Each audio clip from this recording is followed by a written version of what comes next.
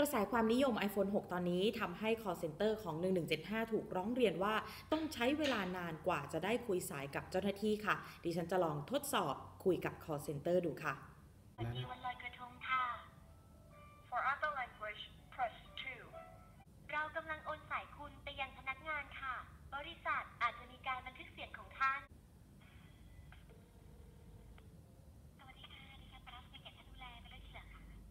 สวัสดีค่ะ จะสอบถาม iPhone 6 Plus นะคะ ก็ได้คุยกับ call center เรียบร้อยแล้วอตอนนี้ทางผู้ให้บริการคงจะต้องนำไปปรับปรุงนะคะว่าการมีลูกค้ามาสอบถามเยอะๆ แบบนี้เนี่ย จะปรับปรุงยังไงให้ใช้เวลาได้น้อยลงค่ะ